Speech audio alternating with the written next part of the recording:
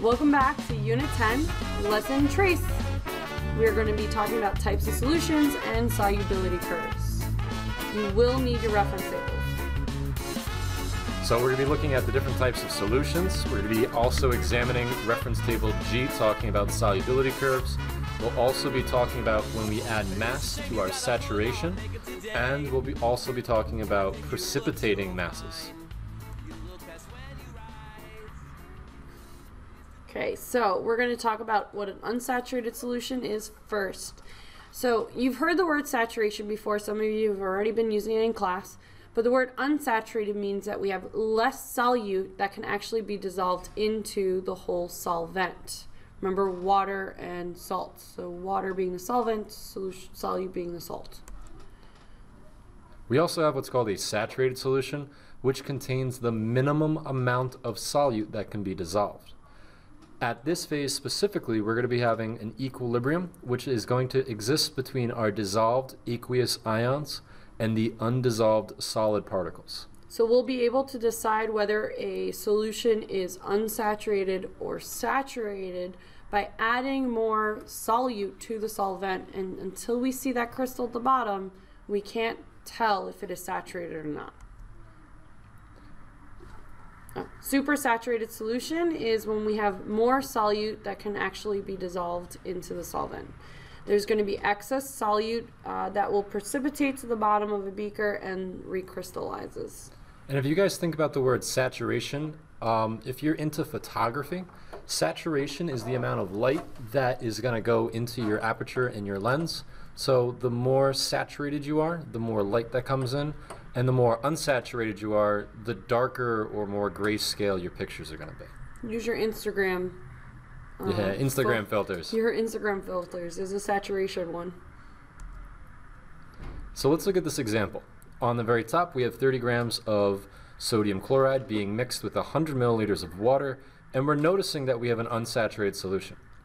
But below, we have now 10 more grams of sodium chloride, so we have 40 in total, mixed the same amount of water, so we haven't changed any of those variables.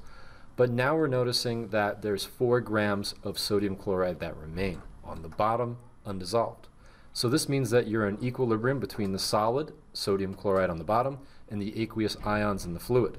And because of the fact that we determined that there's 4 grams that remain undissolved, we know that the saturation point for sodium chloride in water is about 36 grams. Another way to observe concentrations and strengths of different solutions is again visual. On the left, we're noticing we have a very dilute or weak unsaturated solution of copper sulfate.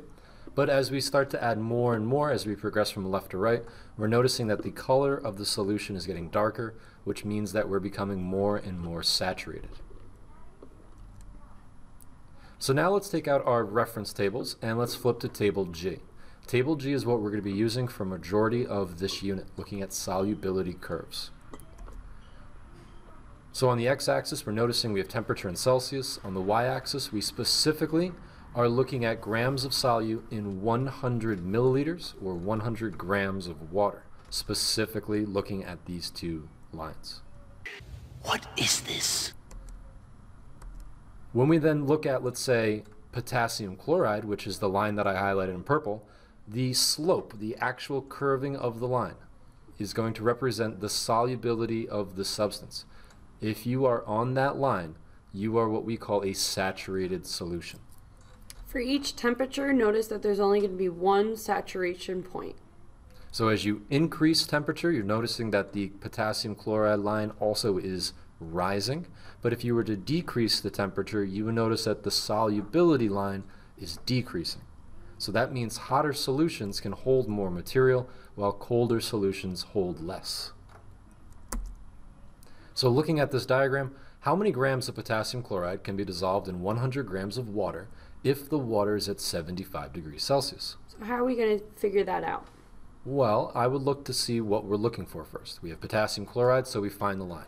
Then we're looking to see how much water we have. Well, that's out of 100 grams. That's what the scale ratio is for the y-axis. Then we look at the x-axis for 75, and we should notice that we have a point roughly here on our chart. So if you transverse going upwards, to the saturation line at 75 degrees Celsius, and then going across to the left to the solubility, you would notice that about 50 grams of potassium chloride can be dissolved. So what the y-axis represents is that whatever's on this graph is dissolved in a 100 gram uh, beaker of water. And this is telling you that at this temperature, that many grams can go into 100 grams of water for saturation. Okay, I think I got it. Yeah? Yeah. Excellent. Let's continue. All right, so again, looking at table G, let's go back to our potassium chloride line, and let's specifically look at 80 degrees Celsius, which I marked on this diagram in the dotted black line. So we know that on the purple line, we are saturated, which is the minimum amount of solute that can go into our solvent. And again, this is just for KCl. We're only looking at the KCl line. But the same things we're talking about right now for KCl can be applied to any of the other lines. Correct. So what happens if you have more grams of KCl into our water? Okay, now if it is completely dissolved, so visually it's completely dissolved in, but it looks like we have more solute in the solvent than that line represents, then it's what we call supersaturated. Okay, if we add anything else, it can crystallize at any moment. And if we have a supersaturated solution, if we irritate the solution at all, By shaking, by or, or hitting it. right? At all, irritating it at all, maybe just annoying it, but with just speaking to it, um, it can recrystallize and turn into an equilibrium between the undissolved and the dissolved, going back to that purple line and becoming saturated again.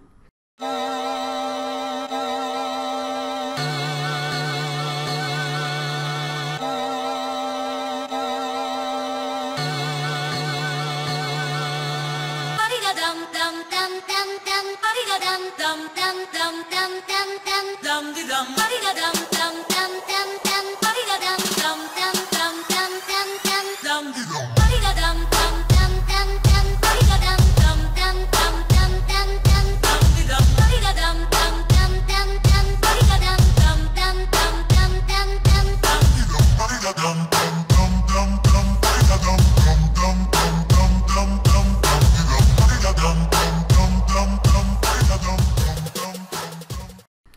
what happens if you're below the saturated line? What do we call that type of solution? So anything below, so in the example of 80 degrees Celsius, uh, it should be approximately 50 to 52 grams of KCl that can be actually saturated in it.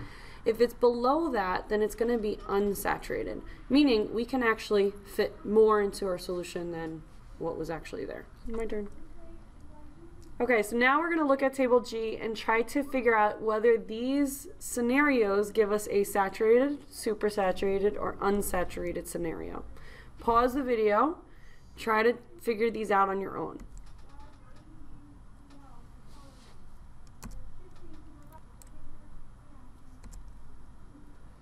But now let's use table G, and now let's assume that we no longer have 100 grams or 100 milliliters of water. Let's look at the first example. In the first example, we have 100 grams of water. So everything that we would we've been doing so far is as normal. For the second and the third question though, notice that we're doubling the amount of water. And in the third question, we're halving the amount of water. Therefore, respectively, you should be doubling the amount of sodium chloride in question two, and you should have half the amount of sodium chloride in question three. So right now, pause this video and give these problems a chance.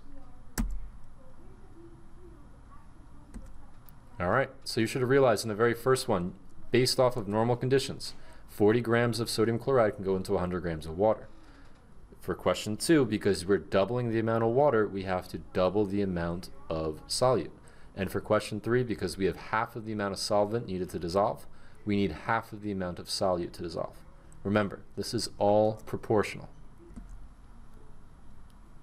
So now we're going to be using table G again to determine the mass to create a su- uh, saturated solution from an unsaturated solution.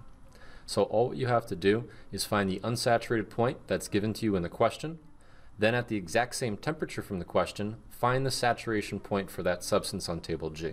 That means you have to just go vertically up the same x-axis. When you figure out the amount of grams from the saturated solution You would then subtract them from the unsat- unsaturated solution, and that difference tells you the amount of substance required to make a saturated solution. So let's look at an example. So in the first example, it says how many grams of KNO3 are required to make a saturated solution if you initially have an unsaturated solution at 65 degrees that dissolves 73 grams. Pause the video and try these out. Okay, so let's figure this out. This is what the question is telling us. This is the exact point on our graph that 73 grams and 65 degrees Celsius shows us. Notice that it doesn't touch any of the lines, which would represent saturated to us. Then we need to find where KNO3 is at 65 degrees. Okay, notice that it's way up there. Now we're going to take the difference of the two, and we're going to decide how much more KNO3 we can add to the solution. It ends up being about 47 grams of KNO3. You should end up with 15 grams of KCl if you did this properly. I am the smartest man alive! So again, using table G, now let's figure out how much precipitate or how much solid is going to come out of the solution when we change our temperatures. So to do this, we have to determine the saturated grams at the two temperature readings from the question. So the amount of precipitate, the solid that comes out of solution, is equal to the higher temperature saturation grams minus the lower temperature saturation grams. So let's try this problem. We have a saturated solution of potassium nitrate and it is at 70 degrees Celsius. It is then cooled down to 40 degrees Celsius. How much precipitate is formed in the bottom of the beaker? All what you have to do is figure out how many grams of potassium nitrate is at 70 degrees Celsius, which we're noticing is the sun on the very top, and then you take the number of grams found at 40 degrees Celsius, which is the sun on the bottom, and you subtract those gram amounts from each other. So you should notice 135 minus 65 tells us that about 70 grams of potassium nitrate will solidify and precipitate out of the solution. So looking at table G, let's go over some of the basic facts that you need to know. The very first thing is that all of the ionic compounds, which are found here in red, they all have a positive slope. That means that ionic compounds are going to dissolve best in 100 grams of water. And just so you guys are aware, all these ionic compounds are a solid. They're all crystals at room temperature, and they all show that these solid ionic compounds increase in solubility as the temperature is increasing as well. All the covalent compounds have a negative slope. And now these covalent compounds, which are all gases, we'll notice that they are going to have a decrease in solubility as temperature increases. On the very top of table G, everything that's on top, which is KI, NaNO3, and KNO3, these are going to be the most soluble, they will make the most concentrated solutions, and are the least dilute solutions. But at the bottom, these are going to be our least soluble. They're going to also create our least concentrated solutions, and they're going to be the most dilute. Alrighty guys, so stuff you should have learned today. We talked about different types of solutions like saturated, unsaturated, and supersaturated. We learned how to read table G on the Y and X axis. We figured out how to get saturation from unsaturated.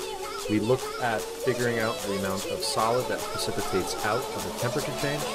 And we understood the basics behind table G. Other than that, hope you guys enjoyed the video and have a nice night.